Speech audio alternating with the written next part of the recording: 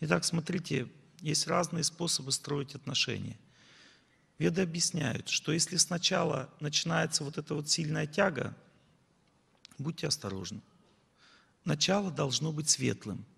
Начало должно быть в отношениях светлым и чистым. В нем должна быть чистота и желание строить отношения. Понимаете? Вот это вот более правильный момент, который даст возможность создать семью. Я понимаю, что сейчас сидят в зале большинство людей, которые уже семью давно создали. И давно создали совсем иначе. Но мы сейчас должны все-таки тему-то раскрыть, потому что мы сейчас говорим о создании семьи. Потому что здесь сидят молодые люди, которые не знают, как это делать правильно. Девушки дорогие, поймите, что если вы мужчину держите на расстоянии от себя, он трезвеет. Если вы его подпускаете к себе, он трезвым уже не будет. Есть еще другой важный момент. Ответственность у мужчины развивается только на расстоянии. Если мужчина близко к женщине под, уже как бы прилип, то он уже не может чувствовать такую жажду по ней, как раньше. Он остывает. Ему, он свое добился, все, ему уже нормально. Это не означает, что дальше семья будет развиваться. Она может и будет развиваться, если у нее на это хватит вот здесь. Но часто бывает так, что не хватает. Часто бывает так, что женщина тем, что она держит его на расстоянии, развивает в нем мужчину. Или он отваливается одно из двух, если он недостоин и не готов быть мужем.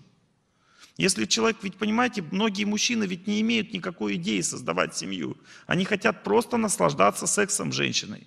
И поэтому они с ней строят отношения. И таких мужчин, они легко отсеиваются, если вы держите его на расстоянии. Понимаете, он отваливается легко, очень быстро, потому что он видит, ничего не получается. До свидания, следующее. А вам нужно создать семью. Или женщинам что-то другое нужно. Интересно знать, что мужские центры и, женские устроены по-разному. Самый нижний психический центр, который отвечает за грубый секс, имеет мужскую природу.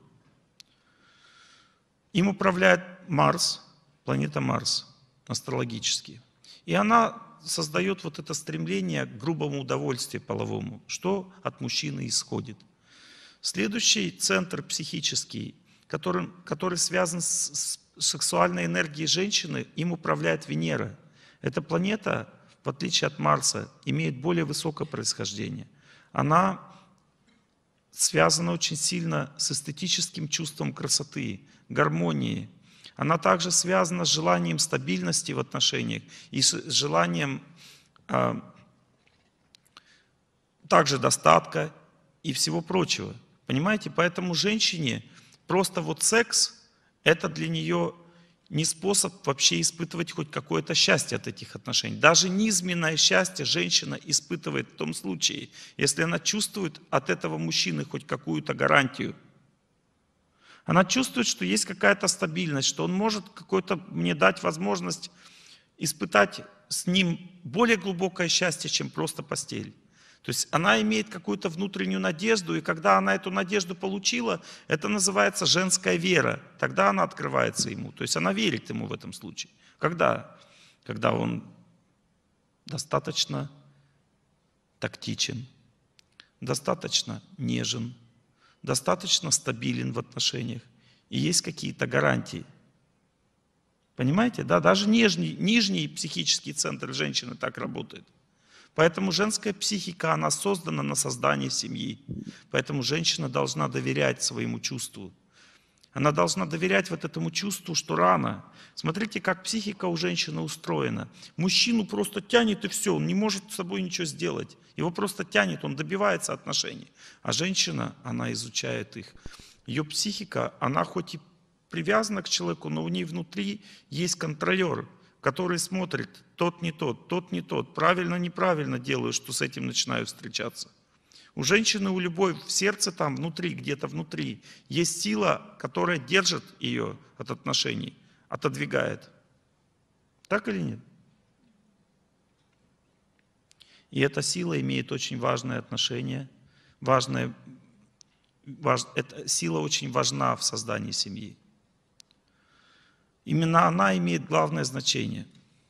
Потому что именно эта сила определяет возможность мужчины развиваться в отношениях. Понимаете, мужчина не будет развиваться в отношениях, если его подпустить близко. Не будет. Он такое существо, что ему надо добиваться. Если он уже добился, чего добиваться дальше? Он не ценит женщину. Он ценит женщину, если она действительно его держит на дистанции достаточно сильно. И в этом основа ведического знания. Ведическое знание утверждает, что держать надо достаточно долго. Лучше всего до замужества. Но для нас как бы эта идея кажется вообще абсолютно утопичной. Слава, слава тебе, Господи, спасибо вам большое. Кто сказал? Где такой человек? Ну, поднимите ручку мне. Спасибо вам большое за заботу и поддержку. Спасибо.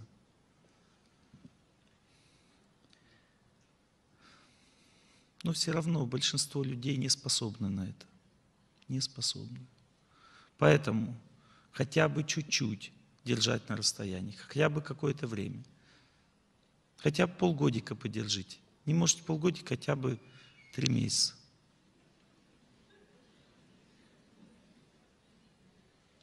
Ну, хотя бы месяц узнайте, что за человек. Это не первый день.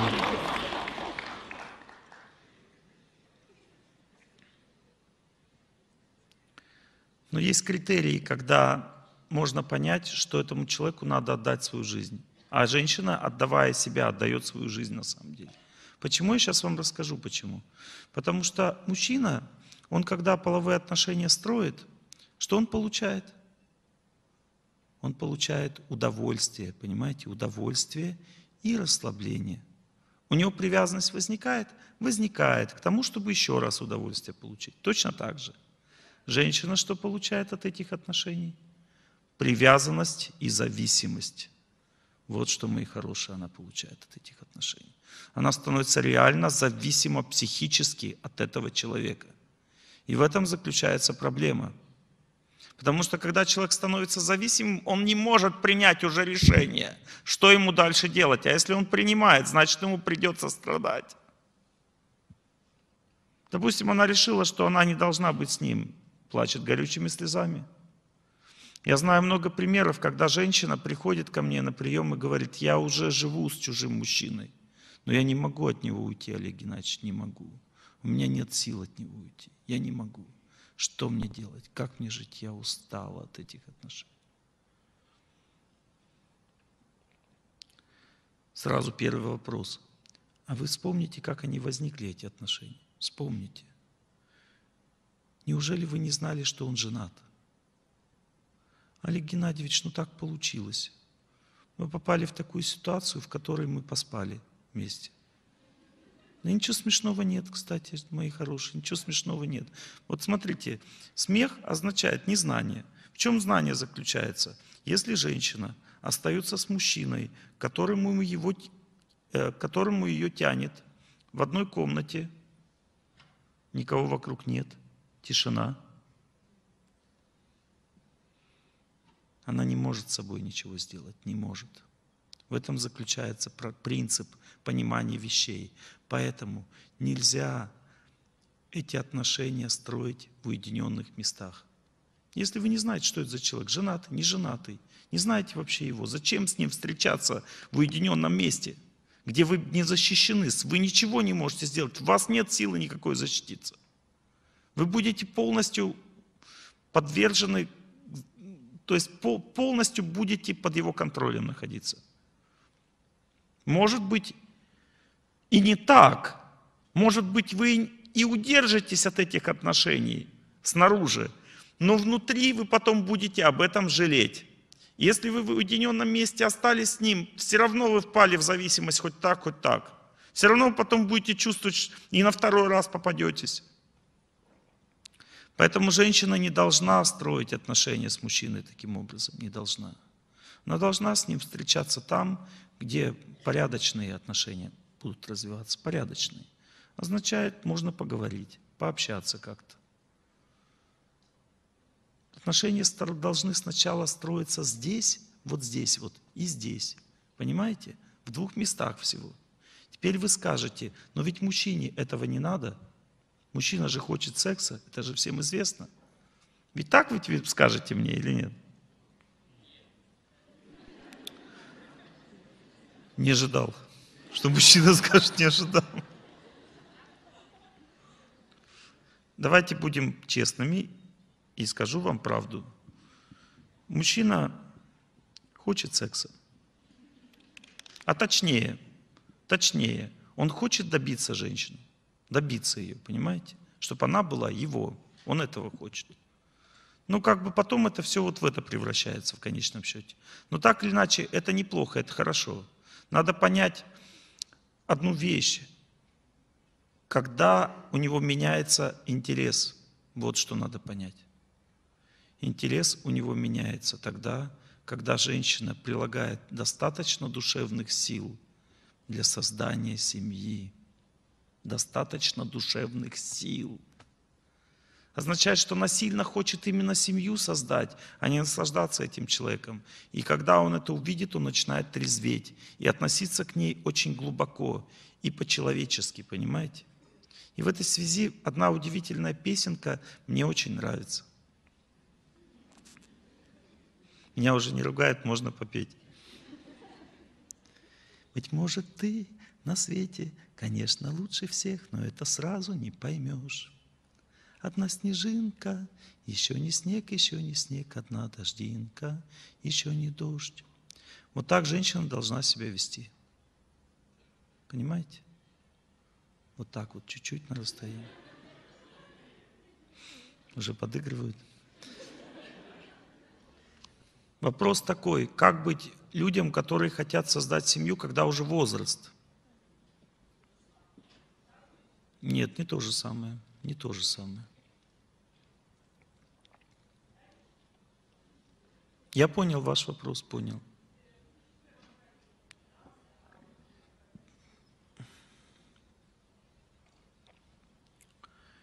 Ответ очень простой. Нет проблем создать второй раз семью. Нет проблем. Вот с точки зрения возможностей, как люди думают, возможности ограничены. Нет проблем в возможностях. Потому что если вы уже будете достойны ее иметь, в этом случае человек притянется очень быстро. Очень быстро. В этом нет проблем. Пытайтесь это понять. Проблема заключается в том, что для того, чтобы создать заново семью, там вот, там вот, о чем мы в самом начале говорили, должны быть основания. Потому что не люди держат друг друга, друг друга, понимаете, а держат высшие силы, держит Бог людей вместе. Мы же не можем друг от друга уйти. А когда ушли, потом не можем создать. Понимаете? Сначала мы не могли уйти, теперь не можем встретиться. В чем причина? Причина не в нас. А причина в том, что мы не имеем основания, мы недостойны. Я исследовал этот вопрос. Попытайтесь сейчас понять то, что я скажу. Смотрите, когда женщина бросает мужчину или жестоко к нему относится, то у ней остывает сердце. Вообще семью создает женское сердце. Когда женщина готова к тому, чтобы быть близко с кем-то, то ее вот эта вот теплота, она начинает кого-то привлекать. В результате создаются отношения. То есть еще раз попытайтесь понять, что именно женщина является основой семьи. То есть из нее исходит энергия любви. А мужчина это тот, кто знает, откуда исходит любовь. Понимаете, есть внешние, внешние какие-то атрибуты у женщины. То есть у нее есть красота, есть привлекательность, любовь и это все внешнее. Это разные вещи. Любовь, она исходит из теплоты сердца, и она указывает на то, что это будет долго. Понимаете, о чем я говорю? Вот теперь у меня к вам вопрос.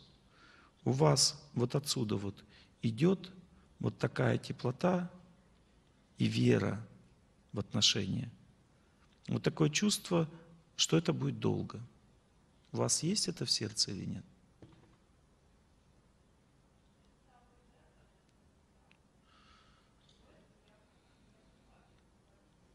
Это стало появляться Но это появилось или нет? Если бы это появилось, рядом с вами бы уже кто-то сидел. Вы поняли, да?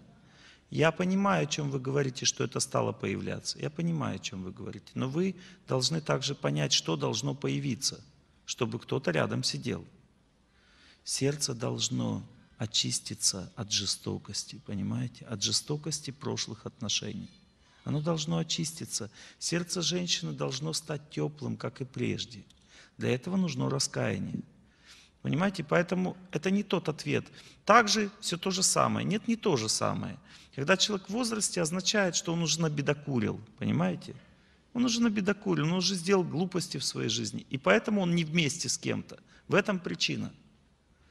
Поэтому надо раскаиваться. Нужно найти себе старшего духовно, наставника какого-то, и внутренние отношения с ним строить, отношения раскаяния, чтобы в ваше сердце вернулось то, что является основанием для создания семьи. Понимаете, просто жить с кем-то, какой смысл? Никакого. Надо, чтобы жизнь была глубокой, так? А у вас нет этой глубины. Как же вы глубокую жизнь сделаете? Она должна у вас в первую очередь появиться. Теперь, что касается мужчины. Смотрите, второй вариант. Мужчина бросает. Жестоко бросает женщину. Что дальше будет? Его сердце наполняется жаром. Наоборот, не холодом, а жаром. И этот жар ему не дает возможности вот эти вот глубокие отношения строить. Понимаете? Ему нужно красивее, ему нужно сильнее и быстрее.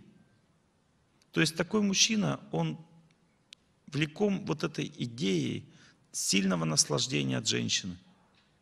В результате у него одна, другая, одна, другая, третья, пятая, десятая пошло. А если даже не пятая, десятая, он, допустим, с одной закрепился, но он жестоко бросил женщину, тогда в этом случае интересный момент происходит. Его начинает тянуть другим. Вот он с этой живет, а еще кого-то хочется, понимаете? Так Бог наказывает и мужчину, и женщину за то, что мы жестоко бросаем друг друга. И это надо понять, что мы здесь в этом мире не господа. Здесь есть, кроме нас, кому-то ситуацию контролировать и управлять всей если мы, допустим, считаем себя господами, тогда давайте будем жениться быстро, выходить замуж, что-то не получается после того, как бросили. Почему не получается? Потому что есть сила, которая не дает возможность, чтобы получилось. То есть внутренняя жизнь является основанием для того, чтобы потом все было хорошо.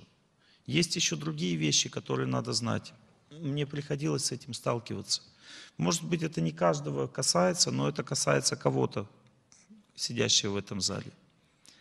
Понимаете, есть еще одна проблема. Она заключается в том, что жизнь человека вообще предназначена для другого. Она предназначена для высоких истин, понимаете? И некоторые люди могут к этим истинам идти постепенно, а некоторым людям нужно уже сейчас их обретать. Поэтому очень редкий случай, но с такой случай бывает, когда женщине не светит семейная жизнь. У меня был такой один удивительный пример, когда женщина подходила ко мне каждый год, я приезжал в один город, я ей советовал, что нужно делать, то есть она все это делала, она раскаивалась там и все. Хотя раскаиваться было не в чем. Меня не было ни одних отношений за всю свою жизнь. Ей было уже около 40 лет. И она все выполняла, по-женски училась жить, там, училась чувствовать себя женщиной и так далее. Но у нее ничего не получалось. Я смотрел на ее семейную карму, в ней был холод непоправимый. Ну просто холод из сердца и все, и ничего, никаких вариантов. И знаете, вот я посмотрел на нее, и у меня вот как-то само из сердца вырвалось. Я говорю, может быть, вам лучше в монастырь пойти? Знаете, что она сказала? Я так и знала. И на ее лице нарисовалась радость. И в сердце ее возникло спокойствие. Это избранные люди, понимаете? То есть они необычные и очень глубокие. И Бог их не пускает в личную жизнь. Таких людей бывает очень мало на этой земле. Но они тоже бывают. В основном все наказаны. Почему мы одни? Потому что мы наказаны. Но иногда бывает так, что человек посылает человека, что Бог посылает человека не в семейную жизнь. Это означает, что он очень возвышен и чист по своей природе. Потому что настоящая любовь, она строится далеко не в личной жизни. Настоящая любовь, настоящая глубокая, которую мы так сильно ищем, она живет в отношениях духовных. Если брать, допустим, монахов и людей отреченных, то в их сердцах настоящая любовь. В их сердцах можно найти настоящую любовь. И поэтому, если мы хотим возвысить наши отношения, отношения семейные, которые наполнены также эгоизмом, кроме чистоты, мы должны обязательно в своей жизни углублять веру и отношения с чистыми людьми, которые могут нам чистую любовь показать. Понимаете, чистоту показать. И вот эта чистота, она потом отношениями между мужчиной и женщиной и движет. Потому что на самом деле во влюбленности, которую я так сильно сегодня ругал, есть один очень важный момент, два очень важных момента, которые я хочу ответить. Первый важный момент заключается в том, что влюбленность на самом деле, она возникает по воле Бога. Это Бог притягивает людей друг к другу. И второй важный момент заключается в том, что она показывает чистоту человека. Когда люди влюбляются друг в друга, они показывают, через них проявляется очень чистое что-то, светлое, на первых этапах особенно, понимаете, влюбленности. И вот это вот чистое и светлое надо запомнить, потому что во многих книжках, связанных с личной жизнью, которые писали духовные люди, я одну и ту же мысль прочитал – она заключается в том, что если ты хочешь чистые и глубокие и верные отношения построить со своим близким человеком, вспомни его таким, как он был в самом начале. Вспомни, как это было с самого начала. И относись к нему именно так. Не меняй этого восприятия своего близкого человека на всю жизнь. Старайся сохранить его в молитвах, старайся помнить его таким и дальше – и он таким постепенно начнет становиться. И потом ты увидишь, что он такой и был, а все остальное это просто наваждение. Понимаете идею? Вот эта идея очень важна. Меня попросили сделать объявление. Это важно тоже.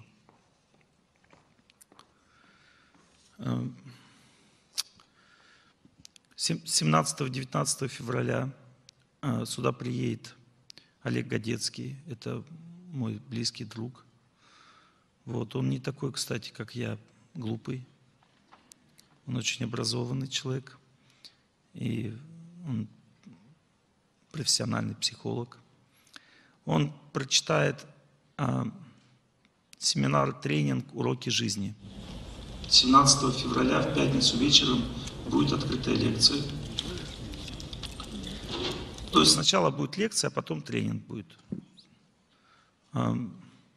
Надо это узнавать э, в центре вот Ирины Медведевой, которая сейчас подошла сюда.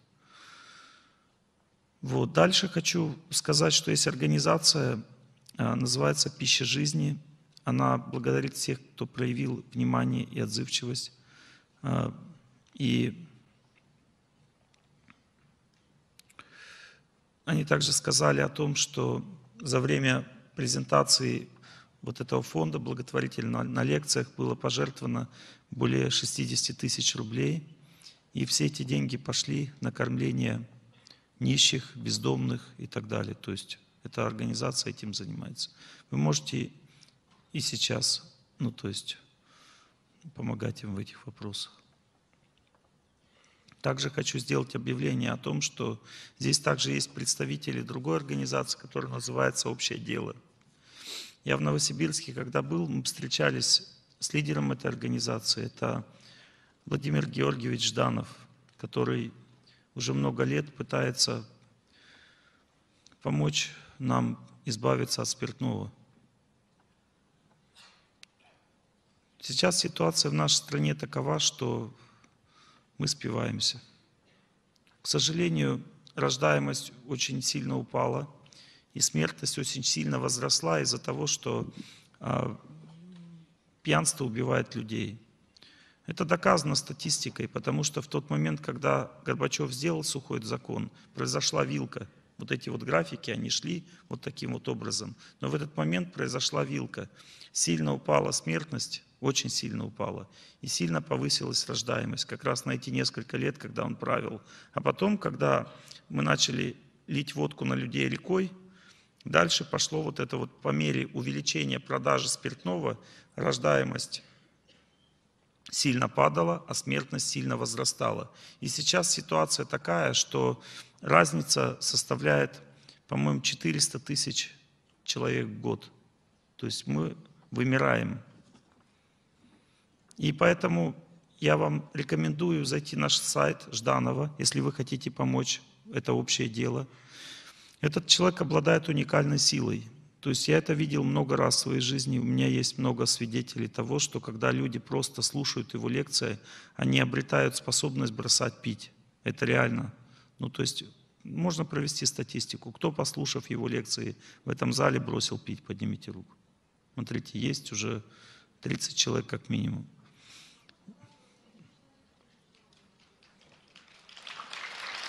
А если у человека нет желания бросить пить, ничего страшного. Главное, чтобы оно у вас было. Понимаете, семья – это одна сила. Это одна сила. Если вы слушаете эти лекции, пропитываетесь этим желанием, значит, тогда оно перейдет и к вашему мужу. Просто не надо его мучить этим. Знание дает человеку возможность поменять свою жизнь, а не то, что его куда-то пихать. Понимаете, просто сами слушайте дома, и все. Вы увидите результат мужа начнутся поправки, потому что есть уполномоченные люди. Жданов – это уполномоченный человек. Он обладает силой, способностью менять сердца людей в этом направлении. И он абсолютно искренний, у них никаких политических мотивов. Он просто хочет, чтобы это было. Кстати сказать, я говорил с его секретарем, у нас был обед общий, и когда Жданов вышел, по телефону разговаривать, то она мне сказала, Олег Геннадьевич, я боюсь за его жизнь. Ну, то есть человек рискует, потому что он восстал против этого алкогольного бизнеса один. Понимаете? Мы должны его поддержать. То есть на его сайте лекции можно скачать бесплатно и распространять их, просто раздавать. Записывать диски и раздавать знакомым. Такова наша помощь в этом проекте. Если хотите еще как-то помочь, тут есть столик, можно поговорить. Также хочу сказать вам, что Центр психологии Ирины Медведев, которая очень благодарен за, вот, за эту аудиторию, это ее работа. Вот. Центр Ирины Медведевой переехал а, ближе к центру, а, две минуты пешком от станции метро Римская. Теперь а, покупка билетов на эти лекции и другие мероприятия будут, будет в этом месте. Работает с 10 до 20 часов – ежедневно без выходных. Чуть попозже я вам представлю одного из своих наставников, который решил тоже начать читать публичные лекции, но у него будет ну, тема такая более серьезная. Она называется а, «Как найти себе духовного учителя». То есть это не касается какой-то одной традиции, это он общие принципы, как найти наставника или духовного учителя будет разбирать. Это очень возвышенный человек, он монах, он никогда не был семейным человеком. И он очень глубокий. И я надеюсь, что вы не будете на него ругаться, когда будете читать, когда он будет читать свои лекции. Ну ладно, хорошо. А. Олег, пожалуйста, выйдите на сцену. Я хочу его представить.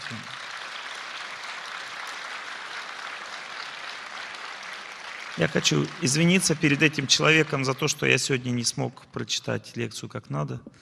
Наверное, Господь меня чему-то учит. Скажите что-то. Я не знаю, когда будет ваша лекция.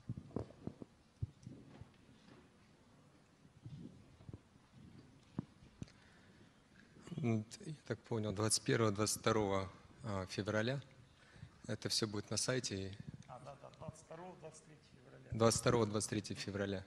Но где пока неизвестно. Нет, э, Ирина Медведева. Вся информация будет там.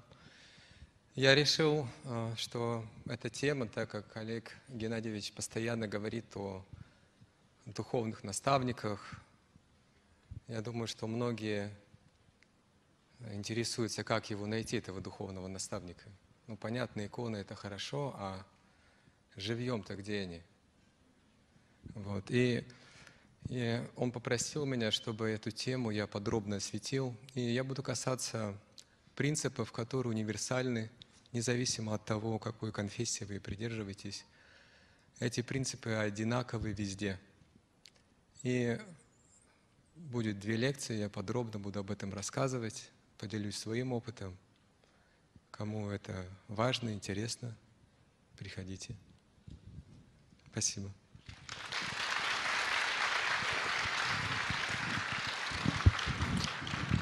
Вот этот скромный человек является наставником всей нашей команды, там под Краснодаром, где я работаю.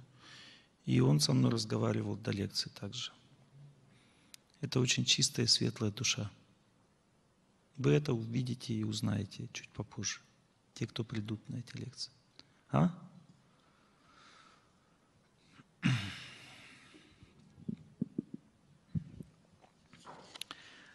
Олег Сунцов. Я его знаю по духовному имени, поэтому как бы вот такая у него фамилия. У него есть а, сан священника и духовное имя также.